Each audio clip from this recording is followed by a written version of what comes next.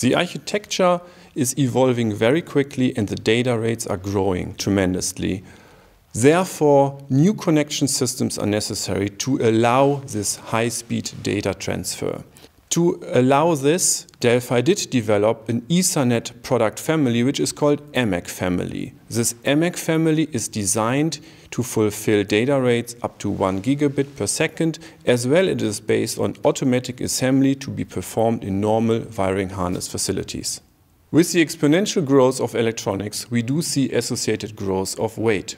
To decrease the weight, Delphi is working on new solutions for small gauge cable with small sealing, as well as new interfaces for smaller applications.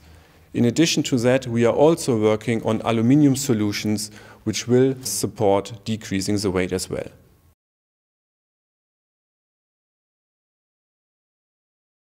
We do see as a future trend for architecture a multi-voltage EE system.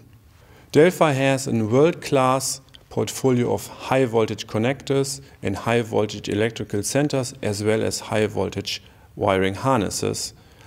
Furthermore, we are supporting the 48 volt trend and we are designing new interfaces to accomplish this trend as well.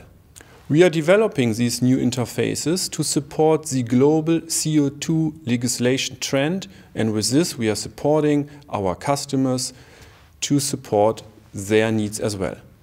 Our global engineering organization is supporting our customers in every region of the world. A good example is the high voltage charger, where Delphi is the only partner currently supplying this charger into 60 different countries. We are managing this complexity with our global engineering organization.